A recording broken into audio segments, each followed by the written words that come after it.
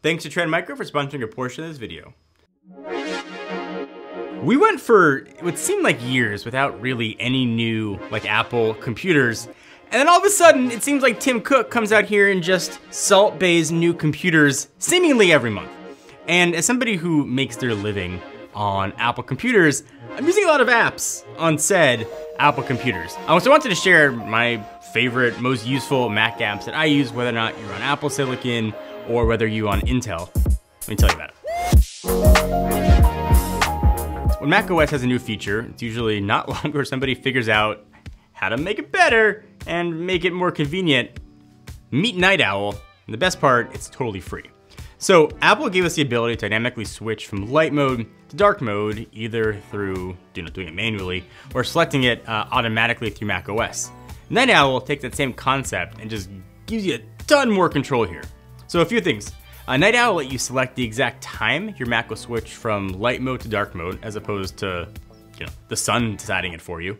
You also get more control over what apps are affected by light and dark mode. If you've got dark mode selected, you can actually add like light mode to certain apps. You just like that look of better. If you're dark mode obsessed or you just want more control over your, your modes, Night Owl is your jam. This one I think is generally pretty cool. So uh, it's called Dropover. And if you're like me, you're doing a lot of transferring from one folder to another. Things like saving photos, text, and trying to compile everything ultimately to go in just one folder or doc.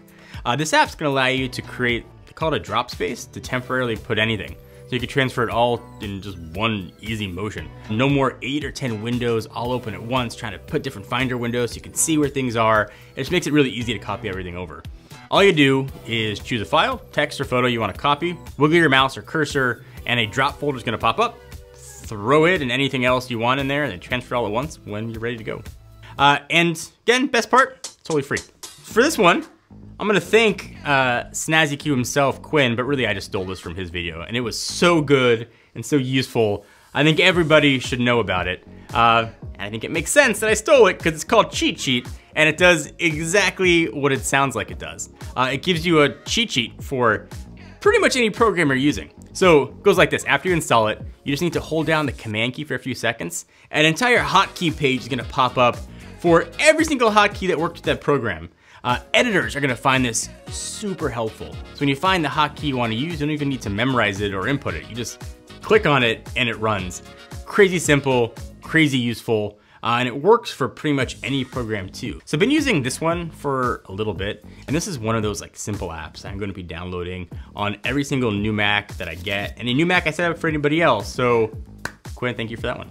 So I think we all pretty much know Instagram has still decided to not make a dedicated app for the iPad or Mac OS. Granted, using the browser version works fine on Mac, especially since you can post from there now too. I prefer though having a dedicated app for things like that. So, and that's where Grids comes in handy. It's an awesome Instagram app with a really clean look with a few caveats. So there's a free version, which lets you browse, like, and comment on your feed, as well as other pages. But if you wanna do things like watch or post stories, or watch or post reels, or even direct message, you're gonna require the subscription version and that's gonna be either 250 per month, 13 bucks a year. They will give you a seven day free trial. The main reason I use it over the browser is I can see notifications from Instagram right on my desktop. If I had it on my browser, I would get notifications for it. Again, you can use a browser if you want, but if you like the full kind of Instagram shebang, it's an awesome option to have. A shout out to my minimalist fans out there. Uh, I've got an app for you. So this one's called Hidden Me. There's a free and a pro version. So difference being if you run multiple monitors, you might want the pro version, but single screen users, the free version works great. So all it does with one click, it hides all your files, folders, or apps on your desktop. If you're one of the people, my dad, it drives me nuts. His desktop has just like a billion icons. And if you share your screen a lot, if you don't want others to sort of see, say that sensitive folder, uh, you have on your desktop, no one's gonna believe that it's a taxes folder, just, just so you know. So a bit more niche use, and one of the ways that we use it, if you're filming screens all the time, you don't want to always, you know, hide your desktop. This is an awesome way to, to do that. So uh, speaking of sort of niche creator problems, probably one of the worst feelings is spending all day filming a project, get your A-roll, hours of B-roll, audio, everything all on OneDrive or SD card, load onto your computer and find that everything or some files are corrupted. So meet Disk Drill that has saved my butt more than a few times as well as my sanity. And if you watch the Apple Circle, it saved Robert too on several uh, projects. Caveat here, it's not cheap. It is 40 bucks. Um, but what that 40 bucks sort of gets you, uh, I think is priceless.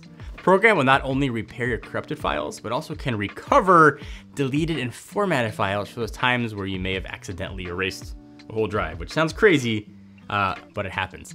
So I've only had to use this a handful of times, and it's one that I hope you never have to use, but it's one that I am infinitely grateful to have.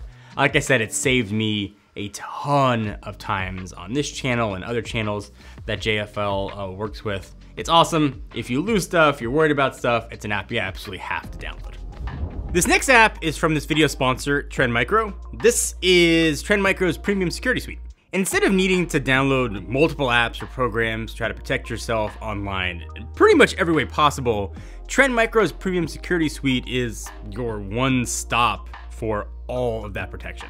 The world is legitimately a scary place like globally, uh, but more locally, it's scary people trying to get access to your information, your credit card information, trying to steal your passwords. People are trying to come at you from all places. And this isn't just like antivirus software. It also has a VPN, ID protection from dark web, mobile protection, a password manager that I use all the time, and a ton, ton more.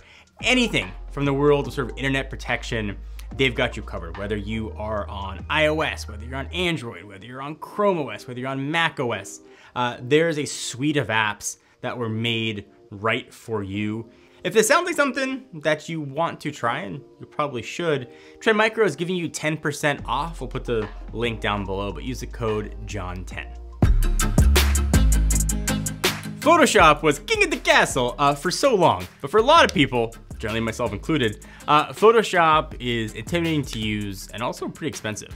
If you're in that camp, ladies and gentlemen, meet Pixelmator Pro. Uh, no subscription necessary. It is a one-time payment of like about 40 bucks, but the interface is just way easier to learn. Now, typically, you might hear someone recommend a program like Affinity Photo as replacement for Photoshop, and I agree with that. Uh, in fact, in the latest Mac app video that I did, I recommended that, and it's a true one-to-one -one Photoshop replacement in a lot of ways. However, the reason why I'm here talking about Pixelmator Pro this time around is I feel like it's open to more people and get into it a lot easier. The barriers to entry are just lower. It's like a combo of Lightroom and Photoshop. Gives you granular control over your images and projects without giving you sort of seemingly 50 different brush options and tools that sort of, as you're learning, are just really overwhelming. Think of it as giving you all the tools most people would use in Lightroom and Photoshop, but with like Lightroom's mobile ease of use uh, with the tools and menus. This is quick and simple, but really useful. So it's called Gestimer, and it's a really elegant timer app for your Mac. Install it, little timer icon that lives on your menu bar. Click it, drag it down, set a timer. The longer you drag it down, the longer the timer's set for. Really simple. Once set though, you can make a note for what that timer was for. Uh, my days are basically run on like 15 minute increments, all on a calendar, and I stick to it. I'm telling you, if I didn't write it down or set a reminder for myself about something, I would not remember it. And Gestimer is a really nice and simple little reminder app for those sort of momentary things. I have to set a quick reminder to use, you know? Remind me in 15 minutes to drink some water. Remind me in 15 minutes I've got a meeting, whatever it might be. It's really helpful to have and it's, it's saved my butt more than a few times. So if you are downloading all of these apps and your menu bar is starting to look, uh, let's say beefy, especially if you've got one of your MacBook Pros with a notch, Easy way to clean that up is a free app called Vanilla. I'm just gonna add a little arrow to your menu bar. When you click it, it can hide app icons from the menu bar too.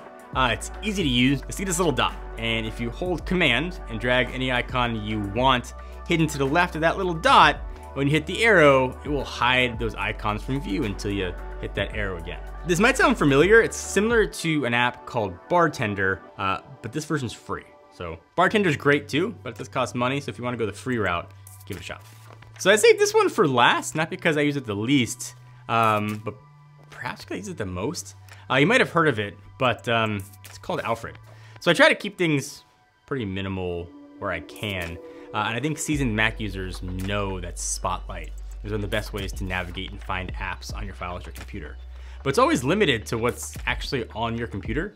With Alfred, it gives you that same functionality as Spotlight. Um, you can search your computer, obviously, for anything that you type in, but you can also search online with it as well. And it lets you use sort of the power of Spotlight, do any search you want from, from Google, YouTube, Amazon, uh, whatever. Uh, it also learns how you use search on your Mac over time, bringing up sort of more useful results for you to use later. There's a ton of customization here, so play with it, figure out how you can get it the best for you. I use it all the time, and I don't know how I could use my Mac without it. Those are some of the apps that I'm using. Maybe you've heard of some of them, maybe you haven't but I'm sure that that is not an exhaustive list. So if there's like a killer app that you guys absolutely love, let me know what it is. Leave it in the comments down below. Let's talk about it. And I'll update this list. I'll make a new video every six months as new apps kind of come out. Um, but hopefully one or two of these or more you guys will find as useful as I do.